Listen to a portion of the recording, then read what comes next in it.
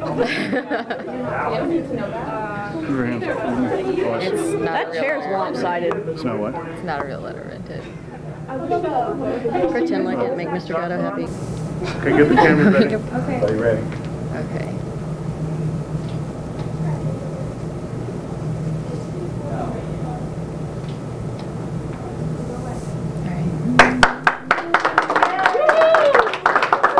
Why does that say Aaron? What does that mean?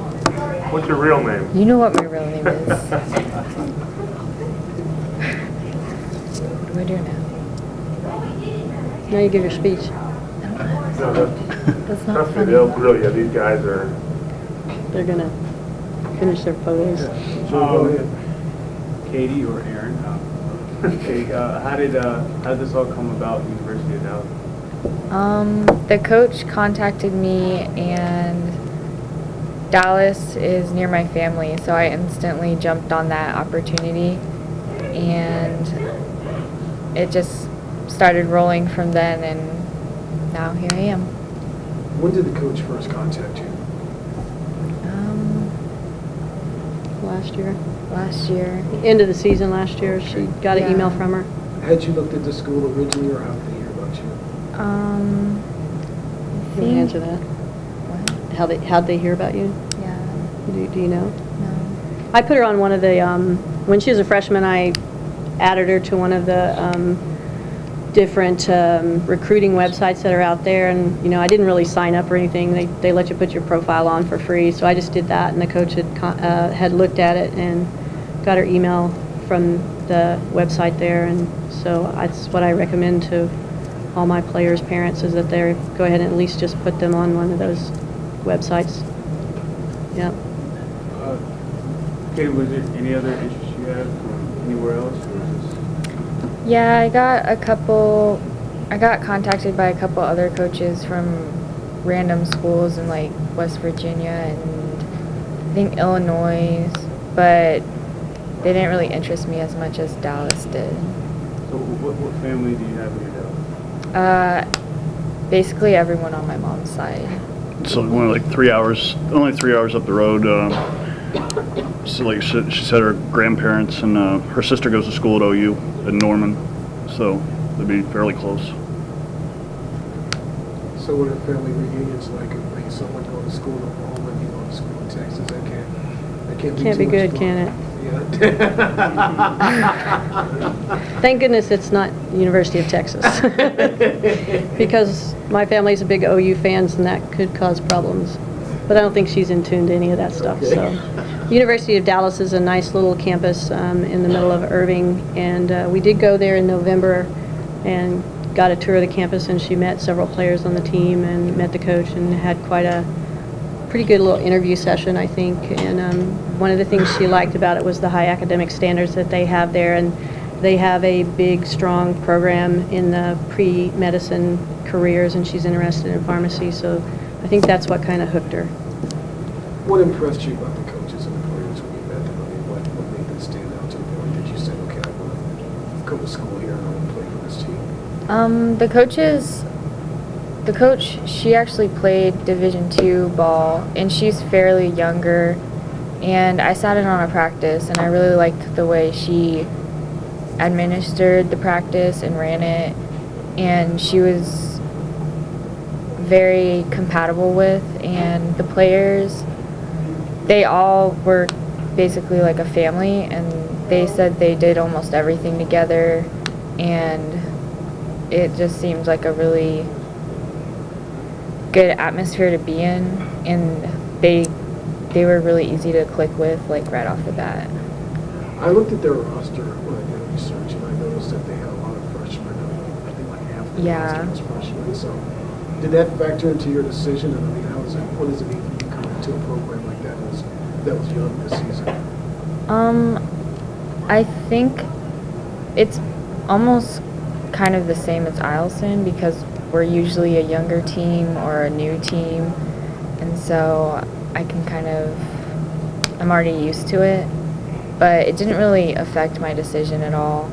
I just saw it. She told me that she's just trying to recruit as many as possible because usually people will like end up not wanting to complete the whole season because of various reasons. But yeah, I think it didn't really affect my decision. As far as on the court, uh, Katie, I guess what do you think is, could be your strength in, you know, going on to the, to that program, that you've seen the players, you've kind of seen them practice, what do you can Um, my my shooting is gonna help them a lot because she specifically told me she was looking for outside shooters, and when she saw my video, she said that's what really sparked her interest in me, is because of my outside range that I have.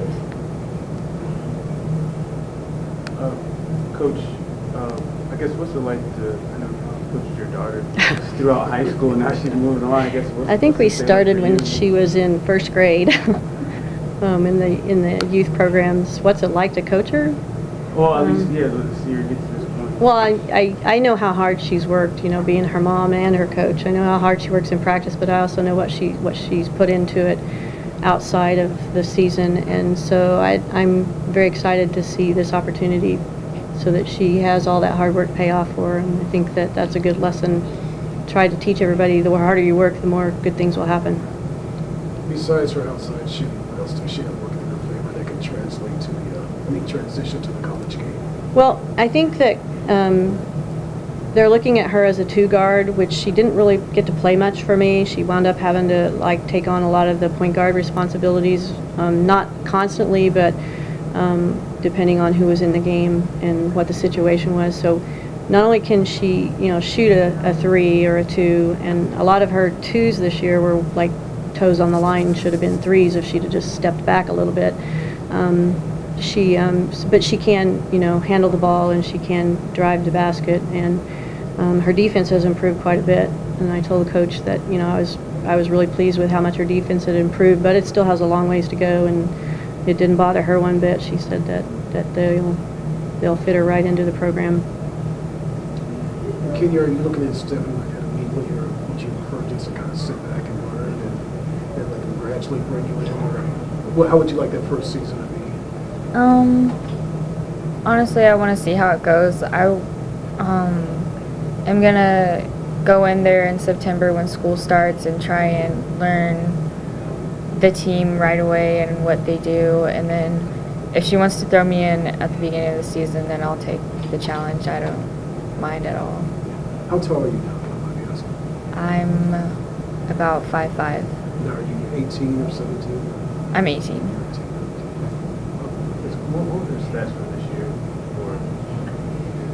Uh, sh- gosh. Well, I know she led the team in assists. and She, she averaged a couple assists in a game. Um, she averaged um, 9.8 points and uh, a couple of rebounds a game, a couple of steals a game. She was right up there in the top.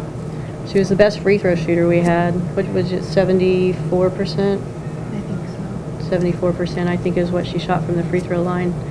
Uh, Shot um, in the 30s from the three-point line, which was the best for us. So, um, you know, not great stats, but not bad stats. And, and I- well, you know, I, I mean, she was right there with everything else, but they, you know, one thing that, that she did do was like play with her team.